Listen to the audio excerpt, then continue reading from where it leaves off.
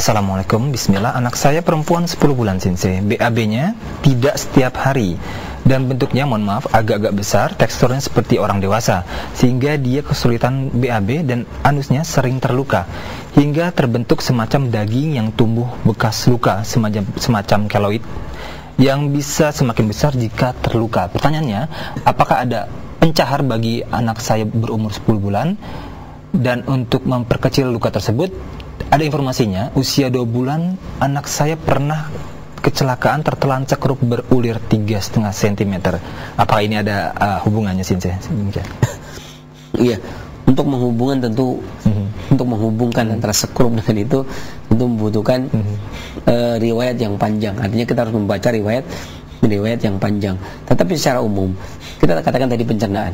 Mm. Ya, baik pencernaan menelan sekrup atau pencernaan tidak menelan sekrup pada intinya anak-anak ini e, memiliki permasalahan pada pencernaan atau gangguan pada pencernaan ya yang pertama gangguan tersebut mirip orang tua karena daya dorongnya. Daya dorong, gitu. Ya, karena daya dorongnya yang kurang kuat sehingga dia terjadi penumpukan feses tersebut. Hmm. Ya, kalau kemudian misalkan makanan uh, kita makan masuk ke dalam mulut uh, tenggorokan esofagus kemudian masuk ke dalam lambung, diterima oleh lambung.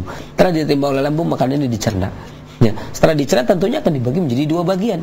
Yang sebagian adalah saripati makanan, yang sebagian adalah ampas. Nah, ampasnya ini kemudian diturunkan, yang endingnya nanti terakhirnya di usus besar. Nah, bagaimana apakah usus besar ini mampu mengatur, dia memiliki energi vital sehingga dia mampu mengatur pembuangan dengan baik, ya, atau dia lemah, tidak bisa mendorong sehingga terjadi penumpukan di sana. Ya, maka wajar ketika alim Ibnu al tugas pengobat itu ada tiga. Yang pertama, menjaga bagaimana caranya agar rutubat tidak menumpuk. Baik sarinya atau ampasnya. Ya. Kalau sari patinya menumpuk berubah menjadi dahak. Hmm. Ya, kemudian naik ke paru-paru menyebabkan orang menjadi batuk, sesak nafas dan seterusnya. Ya, atau e, menjadi lendir kemudian dia kalau dia masuk ke dalam rahim menjadi tumor rahim, kista rahim dan seterusnya. Dan kalau ampasnya maka akan berimbas kepada usus kecil, usus besar. Hmm. Hingga susah buang air besar. Nah permasalahannya kuat enggak?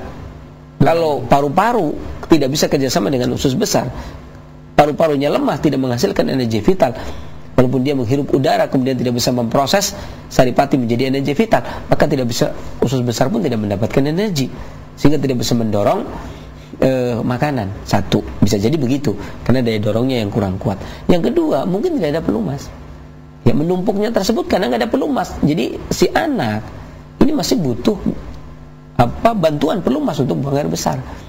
Sebagaimana orang tua. Orang tua itu menurun kesempurnaannya sehingga menjadi berkurang berkurang berkurang sampai meninggal.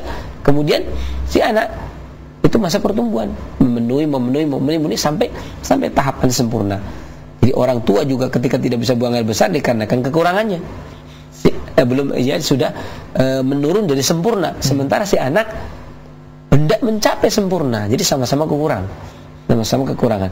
Maka yang kedua bisa jadi dikarenakan dia tidak memiliki pelumas yang cukup sehingga tidak bisa buang air besar.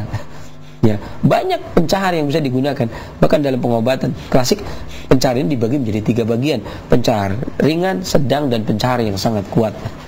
Ya, tentunya pada anak-anak seringnya digunakan pencahar-pencahar yang ringan apakah itu buah pepaya, apakah itu madu pada pagi hari, ya di apa campur dengan air, uh, air sejuk bukan air panas, bukan air dingin, kemudian diminum, ya air biasa maksudnya, atau madu tersebut satu sendok teh diminumkan kemudian dikasih minum air.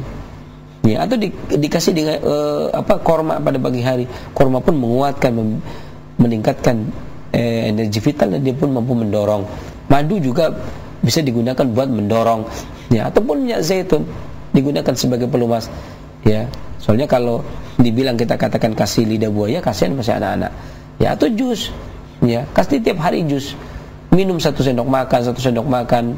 Ya jus wortel kah air jeruk kah setelah sarapan tentunya sekitar jam 9 dan ya dikasih terus.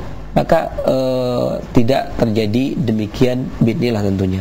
Ya mudah-mudahan bermanfaat dan Allah angkat penyakitnya dan Amin. bermanfaat bagi para pendengar dan pemirsa yang lainnya selanjutnya. Baik, terima kasih atas jawaban dan solusinya dan